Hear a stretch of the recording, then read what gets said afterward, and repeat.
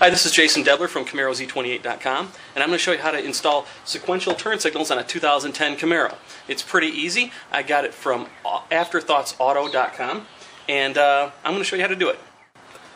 The first thing to do after popping the trunk is to remove these little plastic pins, and it's pretty simple. You just need a standard uh, flat blade screwdriver, and you can gently put it fitted under there.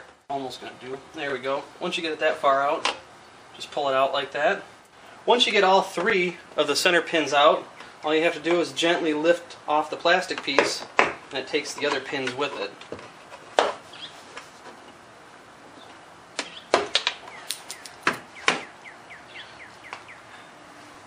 And that exposes the tail light assembly. Once you have the cover off, it's going to, as I said, expose the tail light assembly. And of course you have two tail lights, one here and one here. You want to work with the outer one or if it's the right side, it'd be the one on the far right. You want to work with the bulb that's back here, and I've already removed it. It's a little tricky to get to, but once you get it out, that's when you can install the module. Once you get the bulb assembly out, you want to identify the black ground wire, which is right here. In the instructions that are supplied with the kit, say to do it with a black zip tie.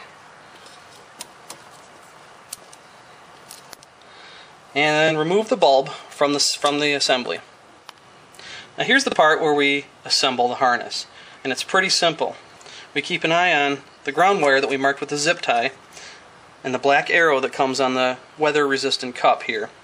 We want to insert the two together just like you would the bulb with the arrow on the side of the ground wire. And it just kind of pops into place. You want to make sure that the seal of this red cup goes all the way around. And if you really want to take some extra time, put some duct tape or electrical tape around it just to make sure it creates a good seal. Just like that.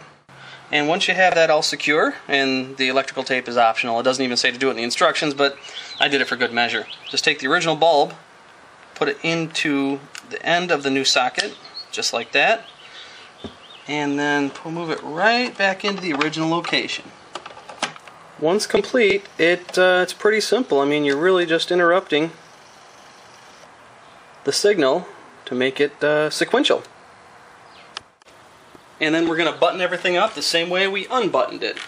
Simply put the uh, original back in place.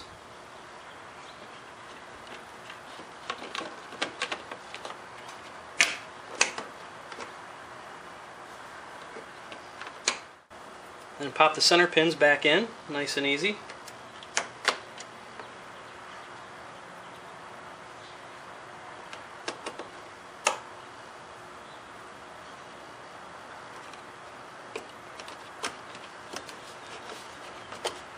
And you're done. And this is what it looks like when the turn signal is now on. You'll see that this one fires just before this one does, indicating, hey, we're turning left. As opposed to the non-sequential side. Overall, it's a pretty simple operation. Um, takes about 10 minutes per side if you kind of take your time and make sure you do it right. Um, it's about $90. Um, I got mine from AfterthoughtsAuto.com.